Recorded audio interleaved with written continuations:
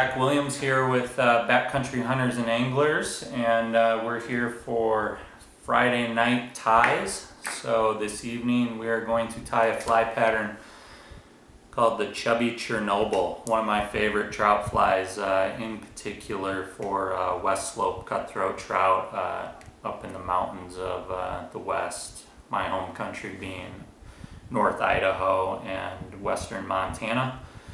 But this, uh, this fly here, this one imitates a golden stonefly, but the chubby Chernobyl is a very versatile fly pattern.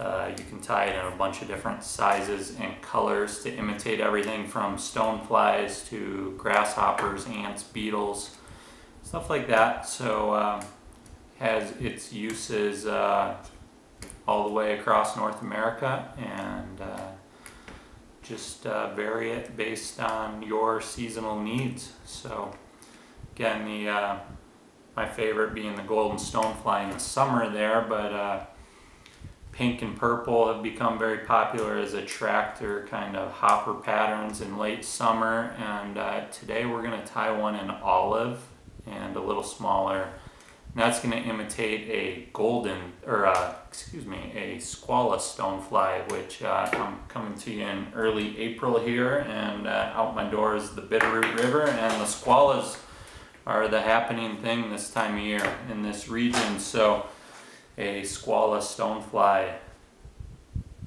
imitation there for the chubby Chernobyl. So the, the chubby Chernobyl fly is what I would call more of a uh, design profile than a uh, specific pattern. It's uh, we vary it a lot in uh, size and color.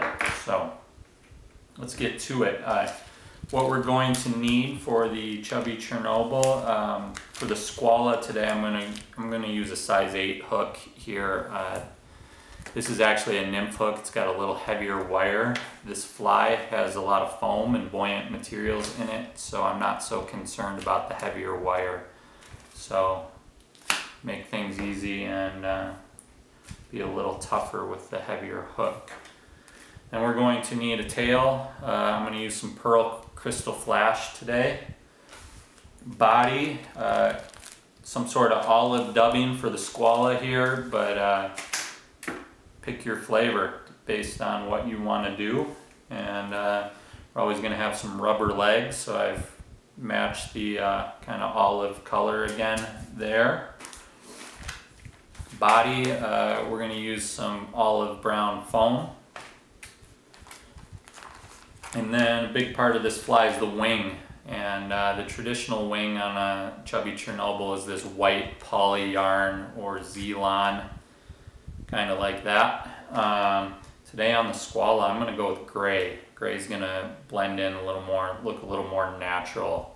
Um, in the past, I've used everything from caribou and elk fur to uh, deer hair as well. Um, anything that's buoyant and uh, visible. And uh, with a fly like this, I've always been one to use what's on hand. So, uh, you know, use what you have, what makes you happy, and uh, just keep in mind you want something buoyant for the wing and you'll be alright.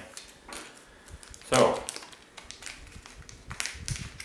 we will lock a size 8 hook in the vise here. Squalls are typically 8 to 12s, um, so this is a larger size. I'm going to lay down a base of thread. That thread base is uh, typical of any fly, but when you're tying with a, a foam like this, you want to be especially careful uh, to lay down a nice thread base so that that foam doesn't spin or twist around the hook. So there I've uh, worked my thread back and forth, covered all the hook. I have a real nice base. First tying step then is the tail. I'm going to take 5 to 10 strands of that pearl Krystal Flash here. Lay it along the top of the hook, extending about a third of the uh, hook length back past the bend. I'm going to bind that down.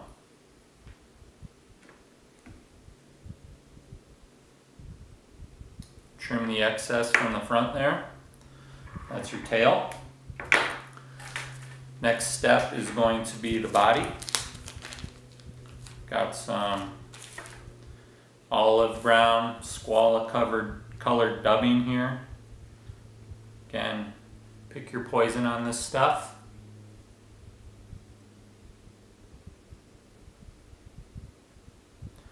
We're going to dub our thread here with a nice even body.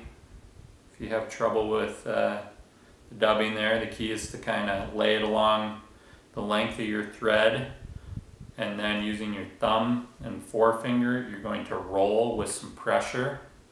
Keep rolling that till you get the body shape that you want. The other key with uh, dubbing a hook body there is to uh, start with less and uh, add a little at a time here. So I'm going to dub forward with that just a nice even body. Don't need any taper to this for a stonefly and then add a little more until I cover this body from front to back.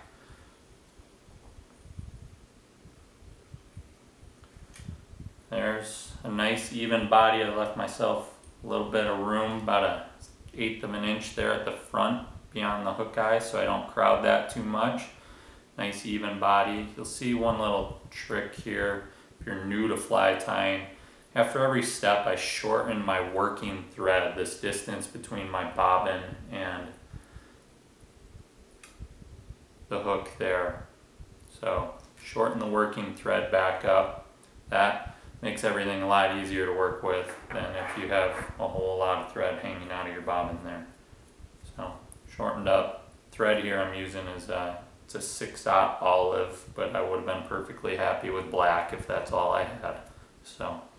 In this case I had it available where I could match the body pretty well and that'll hide the thread wraps. So I'm actually going to work this thread back with some big wide wraps over that body there. Come in and I'm about a eighth of an inch forward of my tail there on the body. And the next step is going to be to cut a chunk of this foam. This is closed cell foam. You can get it at any fly shop. You can also get it at a craft store typically in a whole bunch of colors. So I'm going to cut a piece of foam that's slightly wider than the body I just laid down. I want to keep it fairly slender for a fly like this. And uh, you can cut it a little long here just so you have a little extra room. On the back of it, I'm going to round off the corners so that it's not completely square on the end. Now we're going to tie it down and it's going to extend back past the dub body and just kind of over that tail a little ways, not all the way to the back, just a little ways. Now I'm going to bind that down there, again about an eighth of an inch in front of the end of my dub body. You can see I'm only using three or four wraps to bind that down less is generally more with uh, the tying wraps. Otherwise, you're going to uh, start to have a lot of unnecessary bulk in there. So just a few wraps, enough to secure it. Next step, we're going to need some legs. I'm going to take two of my rubber legs here and uh, trim them to a couple inches long. I'm going to lay one on each side of that body, still in the same spot there. I'm going to bind these down, one on each side. So they're a little long now, we're going to trim them at the end of the fly. Uh, there's my several wraps. I'm going to take a little pinch of dubbing here. Dub my thread a little bit. I'm going to cover all that with just a couple wraps of dubbing, just a little bit. Don't make it too bulky, but cover up those thread wraps. That's my back leg post, leg station there. Now I'm going to work the thread back forward. You can see I do that with only a couple wraps, big widely spaced wraps, just to get my thread back up front. And we're going to come in again about, we're an eighth of an inch in front of the back of the fly there for that post. Same thing's going to happen here. And I'm going to lay that body flat, kind of hold it down with my offhand, and bind it down with three or four wraps.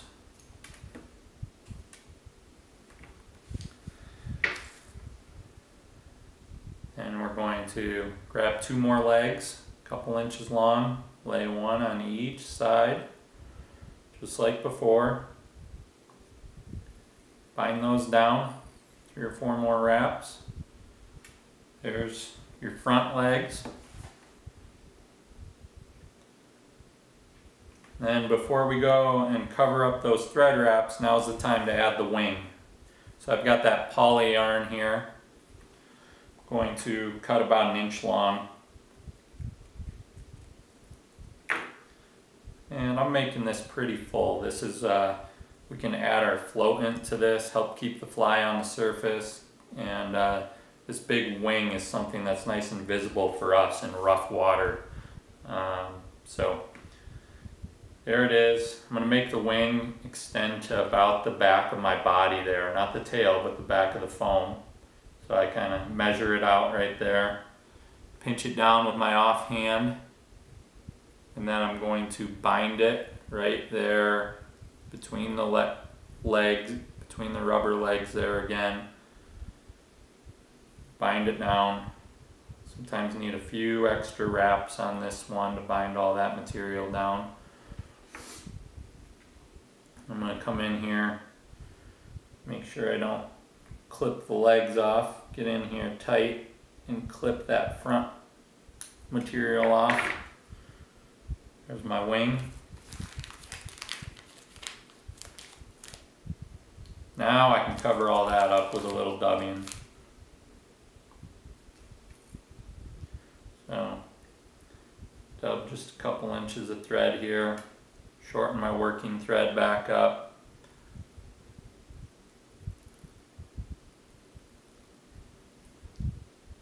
There, covered my thread wraps, got a little extra dubbing here, so I'll pull that off there.